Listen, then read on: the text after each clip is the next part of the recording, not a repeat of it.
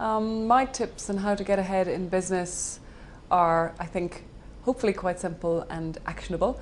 I think the first thing is that you've got to be a real people person. Um, any business, media particularly, obviously is is, is people orientated, but any business, you've got to be a people person. Get out there and network like crazy, because you will need to build a team.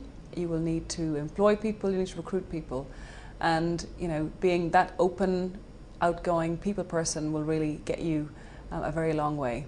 Um, on top of that, I think there is a, a need for transparency in business. People need to be open, they need to be honest, and very willing to share information. I think we're very much in that age now where interdepartmental um, communication and relationships are hugely important. So transparency is possibly maybe a new buzzword um, in business, but one that we're seeing is essential.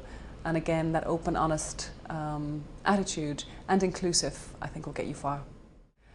The most embarrassing moment, I probably don't want to tell you on camera what that was, but one I do recall, which I felt very sheepish after, was I was in a pub um, with a number of clients having a couple of drinks, and there was one person commanding lots of attention, and I got talking to this person, and I really had no idea who I was talking to. So we talked and we chatted, and I was, um, let's put it this way, less. I was not very taken by a particular industry that this person worked in.